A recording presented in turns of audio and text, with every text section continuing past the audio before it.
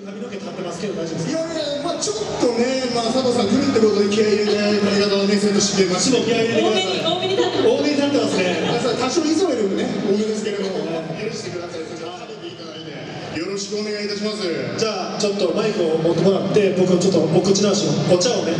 はあ、片山さんがもう、違いますよ。泣けたにさすが優しい。どうぞありがとうござい水ます。槽園のお茶です。水槽園のお茶ね。はいいやー食べてお腹もいっぱいになったのかな？ところで、ところでですね。片山さんからも。ええ。佐藤美希がやられる佐藤美希イケメンランキング第3位は？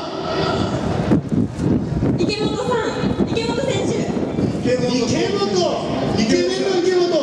背番号14の14の僕同い年のそうですね、今年から加入の。私が選んでいいですかどうね分かりました俺彼女ね。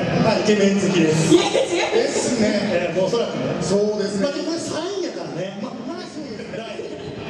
2位。お願いします。第2位ははい。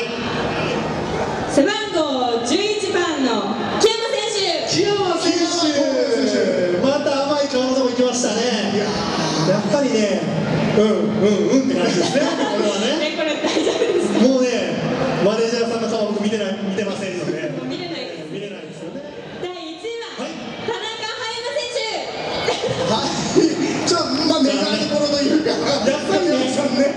もう絶対勝てない人ですね。